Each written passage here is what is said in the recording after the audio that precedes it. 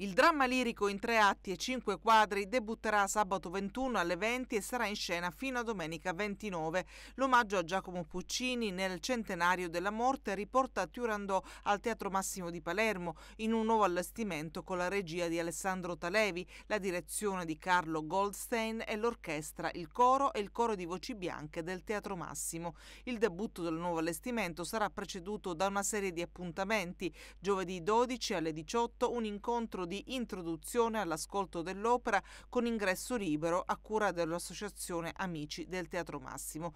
Martedì 17 alle 17.30 la scrittrice e drammaturga Beatrice Monroy approfondirà il libretto di Turandot con gli attori Giuseppe Cutino e Sabrina Petix. I biglietti costeranno 3 euro. Venerdì 20 alle 18.30 la prova generale è aperta al pubblico a sostegno della Fondazione AIRC con un contributo minimo di 15 euro. Sabato 21 alle 17.30 Giovanni Gavazzeni, critico musicale e musicologo, e Ilaria Grippaudo, ricercatrice di storia della musica all'Università di Palermo, presenteranno il volume di Gianandrea Gavazzeni La minuziosa verità, scritti su Giacomo Puccini.